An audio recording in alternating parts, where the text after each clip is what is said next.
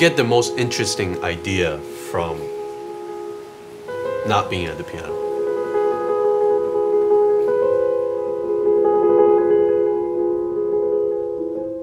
When you're away from the piano, you're actually, you can think more about um, the, the nuance, I think.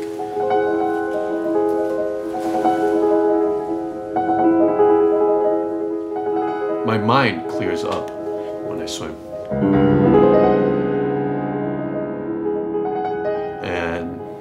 I'm just refreshed to do whatever I need to do, which most of the time I start practicing.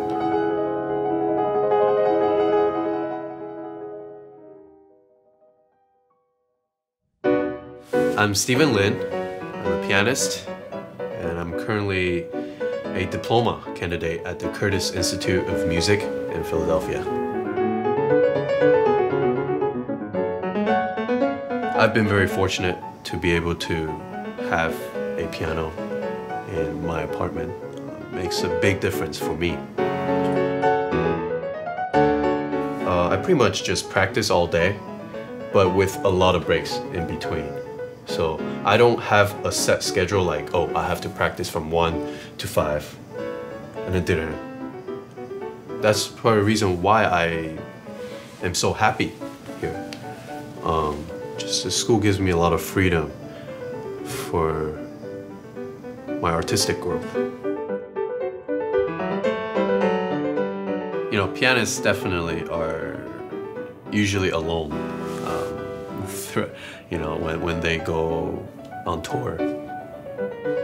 And sometimes it can be lonely, but I think for me, I grew up as the only child. For me, it's, um, I'm totally fine with it. I'm quite used to it.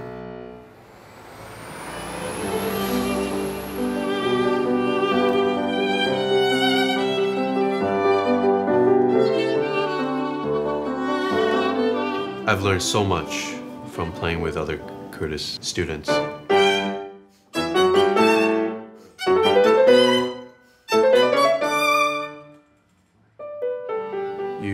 Trade off your ideas and and sometimes you have to stand up for your own idea and it makes you stronger actually as a musician.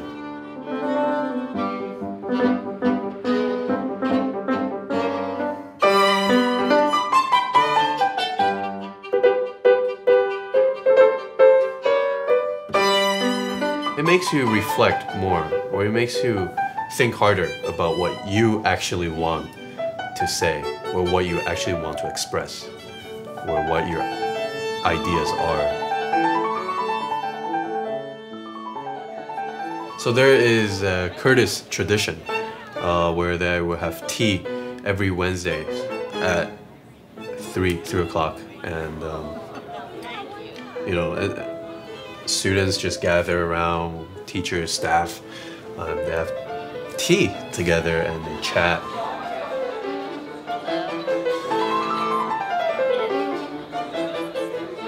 You really feel like it's a community.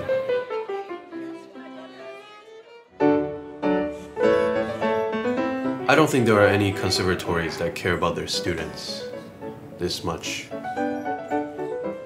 being in Philadelphia, it's been all about music making.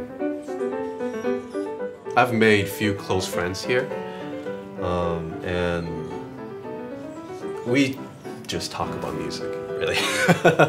it's all about music. I feel very grateful to be able to be part of this.